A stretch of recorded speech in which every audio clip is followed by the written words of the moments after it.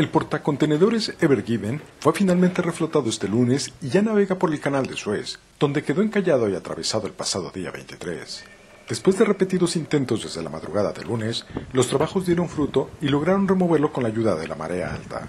La autoridad del canal de Suez mostró imágenes de la nave situada en paralelo respecto a la orilla del canal después de una semana en la que había estado en horizontal bloqueando el paso del canal en ambos sentidos.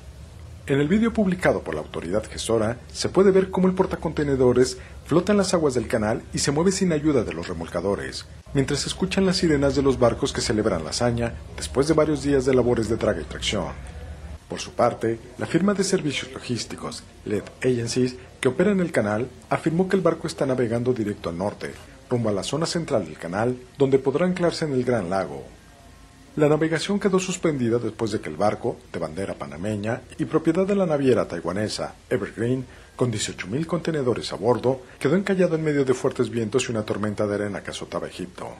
Esto ha generado un embotellamiento en el canal de Suez, por el que pasa más del 10% del comercio mundial y el 25% de contenedores, que alcanzaba este lunes los más de 365 barcos, según el último recuento de LED Agencies.